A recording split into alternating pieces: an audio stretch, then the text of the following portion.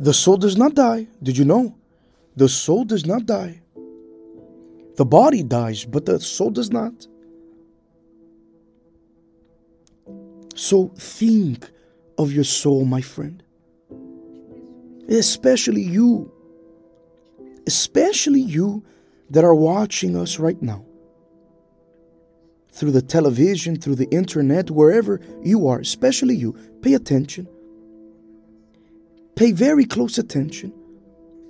You only have the right to choose eternal life while you are alive. After you die, there's no way.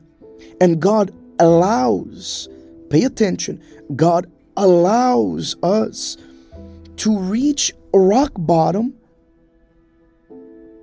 Rock bottom. When you are in rock bottom, you're going to look where? You're going to look to the sides. You're going to look under you. No, you can only look up, yes or no. So God allows us to reach rock bottom so that we can look up and scream to the Lord, Have mercy upon me. And how deep I am in this rock bottom, louder this voice is.